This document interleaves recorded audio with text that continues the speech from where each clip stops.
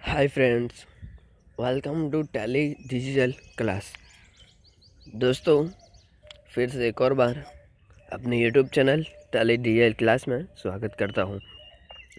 आज के इस लेक्चर में हम डिस्कस करने वाले हैं कि टीडीएस क्या होता है टीडीएस किन किन चीज़ों पर काटा जाता है और टीडीएस के सेक्शंस क्या है, उसके बारे में हम आज डिस्कस करने वाले हैं तो दोस्तों, शुरुआत करते हैं, जल्दी से। शुरुआत करने से पहले मेरी आपसे एक छोटी सी फिर से एक और बार रिक्वेस्ट है कि अभी तक आपने अगर हमारे चैनल को सब्सक्राइब नहीं किया तो जल्दी से सब्सक्राइब कर लीजिए और बेल आइकन को भी दबा लीजिए। आने वाले समय में मैं जीएसटी टीडीएस टीडीएस की तो आज वीडियो में यहाँ डिस्कस करता हूँ।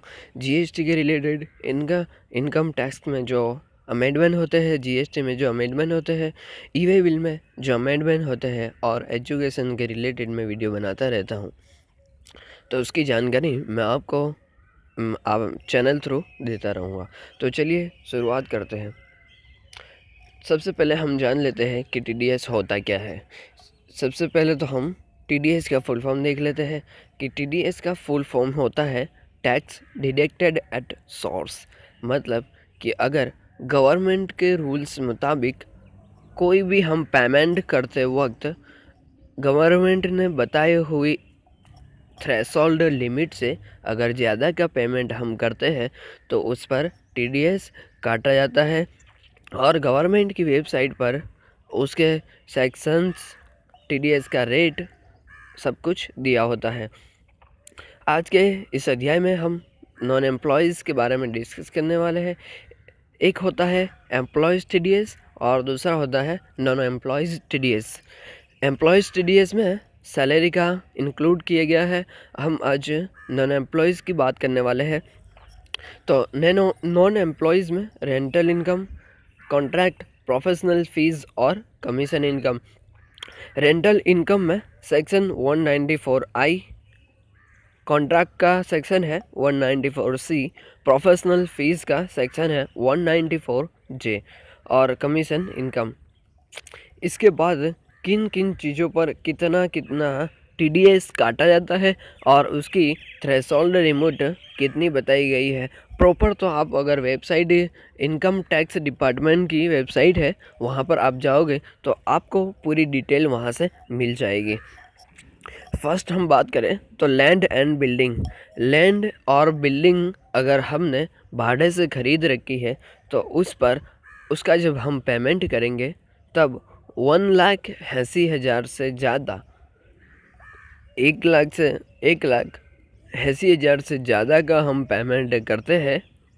ईयरली ईयरली हम एक लाख अस्सी हज़ार से ज़्यादा का पेमेंट करते हैं तो उस पर टेन परसेंट टी हमें काटना है, फिर उसके बाद उसका पेमेंट करना है। इसके बाद plant and machinery plant and machinery एक लाख अस्सी हज़ार की थ्रेसोल्ड लिमिट बताई गई है। अगर उससे ज़्यादा का अगर हम पेमेंट करते हैं तो उस पर दो परसेंट टी काट कर फिर हमें पेमेंट करना होता है। कॉन्ट्रैक्ट की अगर मैं यहाँ पर बात करूँ तो यह मंथली अगर तीस हज़ार से ज़्यादा का आप पेमेंट करते हैं मंथली ध्यान रखिए मंथली तीस हज़ार का ज़्यादा सा, तीस हज़ार से ज़्यादा का अगर आप पेमेंट करते हैं तो उस पर वन परसेंट टी डी काट कर, फिर आपको कॉन्ट्रैक्ट का पेमेंट करना है। इसके बाद ईयरली अगर देखें तो एक लाख से ज़्यादा का पेमेंट करते हैं तो आपको एक परसेंट टी डी काट कर, फिर पेमेंट करना है। बैंक इंटरेस्ट की अगर हम बात करें तो ईयरली दस हज़ार से ज़्यादा का अगर आपका बैंक इंटरेस्ट है तो बैंक आपको ten percent T D S काट कर ही एक्चुअल अमाउंट बैलेंस अंदर बताएगी। इसके बाद आता है लॉटरी अगर कहीं आपकी लॉटरी लग जाती है तो दस हज़ार से ज़्यादा की लॉटरी है तो आपको तीस परसेंट टी डी एस काट कर फिर इनकम होगी। इसके बाद इंश्योरेंस एंड कमीशन इंश्योरेंस कई तरह के होते हैं। लाइफ इंश्योरेंस जी, फिर मोटर कार का इंश्योरेंस होता है। कई तरह के इंश्योरेंस होते हैं। उसमें अगर उसका कमीशन पंद्रह हज़ार से अगर ज़्यादा का है तो उस पर five percent T D S कटता है। अदर कमीशन है तो उस पर टेन परसेंट का टी डी एस काटा जाता है। आज के इस लेक्चर में हमने जाना टी डी एस क्या होता है। टीडीएस किस टाइप के होते हैं टी डी एस सेक्शन क्या है और टी डी एस के किन थ्रेसोल्ड लिमिट और कितने परसेंटेज है, उसके बारे में हमने आज यहाँ पर डिस्कस किया। आने वाले समय में मैं और भी बेहतरीन वीडियो बनाने वाला हूँ।